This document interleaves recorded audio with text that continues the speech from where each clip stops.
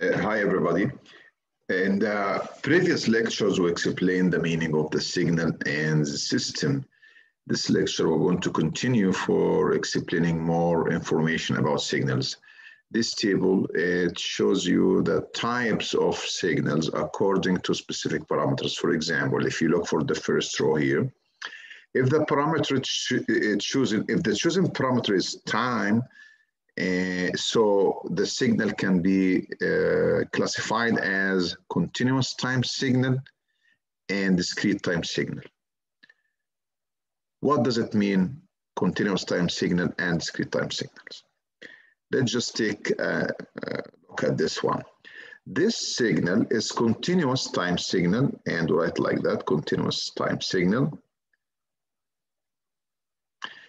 Why? Because you can find value for the signal x of t at any instant t. Any instant of time, you can find the value of the signal. On other hand, in discrete time signal, you see here it's sliced.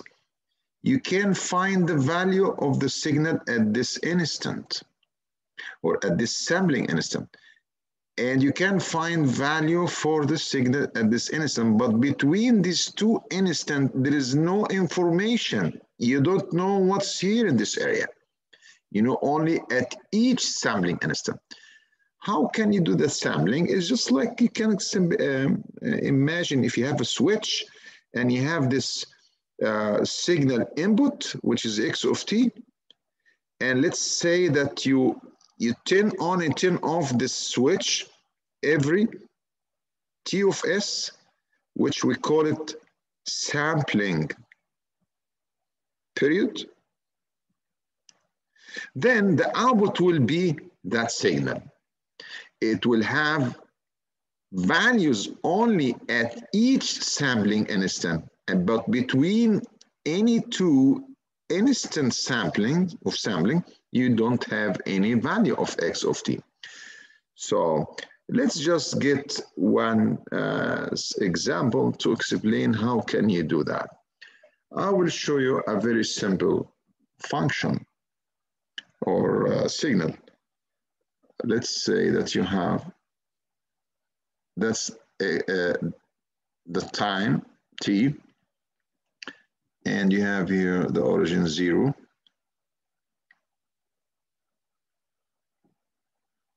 one, two, and let's say that's the y-axis where we're going to represent the signal and the value is equal to six. And let's just take another color here. And ah, that's a signal and will be zero here. That's a continuous time signal.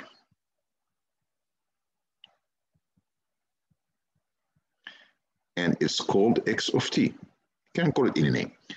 Why it's continuous? Because at each instant of time, you can find value, the value of the signal itself. We can express the signal as a function of time between zero and two, it's a straight line and it's very easy to find. So when time is greater than zero, less than two seconds, the equation of this one, the slope is equal, six over two is equal three, is negative, so it's equal minus three t plus six. Here you can review it, you find this is the function. So that's equal to minus three t plus six in this period between zero and two. But it will be zero if it's uh, uh, if it's a time less than zero, it's the function will be equal zero, as you see. And if it's greater than two, the function is equal zero. So we can write is equal zero elsewhere. That's a continuous time thing. Let's now assume that you are going to sample this function using a sampler with sampling period is equal to 0.5 second. So that will be open and close every sampling ts is equal 0.5 second. So the input will be x of t and the output will be a sequence of n. What's n? We're going to explain now what's n. n should be an integer. It could be positive or negative or zero. It could be like minus 10, minus 9, 0, 1, 2. I mean, it go to a, any value, s integer. What is the relationship between n and t? NTS. We'll say that the time t is equal to NTS. So any time t can be expressed as NTS. N is an integer. For example, here zero at time equals zero, n is equal zero. Let's just make a, an axis. n is equal zero. And since you are going to sample it every 0.5 s, so now you can write n time 0.5. So you will say t is equal 0.5 n. All right, that's the time t. So when you move every 0.5, that's another sample. Another 0.5, because this is 0.5, this is one, another 0.5, that's two. Another 0.5, that will be three. Another 0.5, that will be equal four. And if you can go backward also, you can, if you go backward, minus 0.5 second assembly, get minus one and minus one and so on, minus two. So that's how we calculate n. So the relationship between t, the time, and n is assembling time ts. Good. Well, we want to find the value of the sequence x of n, the corresponding. Now the question is find the corresponding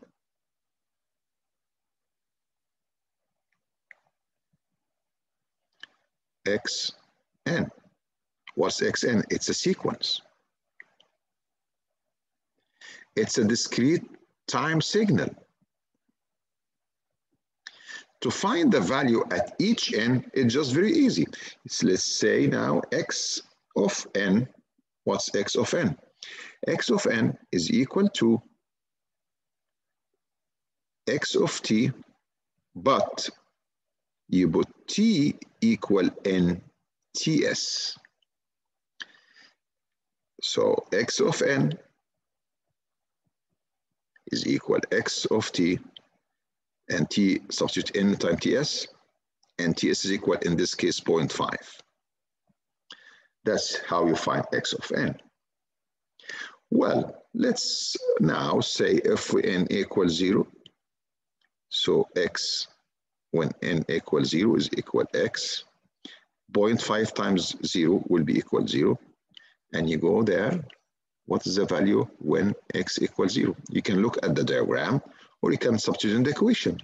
Well, put zero here. So minus three times zero is equal zero plus six is equal six. So x of zero is equal six. Now go for the second, n equal one. So what's x1? x 0.5 times 1 is equal 0.5. How you find the value? You know, we have the equation here. It was still between 0 and 2, minus 3t plus 6. Let's just write the equation here. x of t is equal minus 3t plus 6. If you substitute by 0.5, so we have minus 3 times 0.5, which is half, plus 6. That's equal minus 1.5 plus 6 that will be equal 4.5. So it's equal 4.5. Let's take n equal 2. x of 2. That's a sequence, by the way. x, you have equation here, x 0.5n, 0.5n, and n is equal to will be equal 1. So it means time equal 1. You put t equal 1 here. If you put t equal 1 here, minus 3 times 1 minus 3 plus 6 equal 3. Now let's find n is equal 3. Here you go, x. Uh, the equation we have 0.5 n, 0.5 times 3 will equal 1.5. How you find? Substituting the equation by t equal 1.5. So you have minus 3 times 1.5 plus 6. So minus 3, 1.5 has been 3 over 2 plus 6. So be minus 9 over 2 plus 6 minus 4.5 plus 6 that equal 1.5. So it's equal 1.5. Last one, in, in equal 4, x equal 2. x, but n equal 4 will be 2.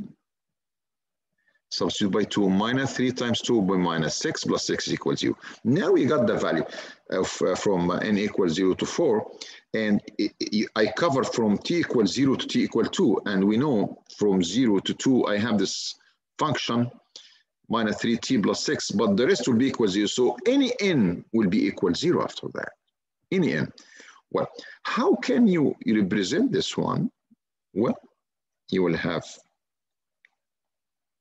this axis it's n and you have the y-axis that's x of n that's the sequence different than this that's a continuous time signal that's a sequence or discrete time signal then you start to find when n equals zero it's equal six. So just make this one six. So just let's shift the color so you understand what we're doing. We'll make it red. So at n equals zero, the value is equal six. So let's just assume this is six. All right. And you can make like, all right. Now, when n equal one, that's one. You have n from zero to four, two, three, four. Well, at 1 is equal 4.5. So the thing that to be 4.5. 4.5. When 2 is equal 3, that's 3. At n equal 3, it's equal 1.5. Make a circle, and then at 4 is equal 0. What about the rest? Well, the rest are zero. So you can just put at five is equal zero, at six is equal zero, minus one equals zero, that's equal zero. So this one we call it discrete time signal or sequence. So that's the difference between continuous time signals and discrete time signals. And we're going to have another lecture for how to write MATLAB program for both. Thank you.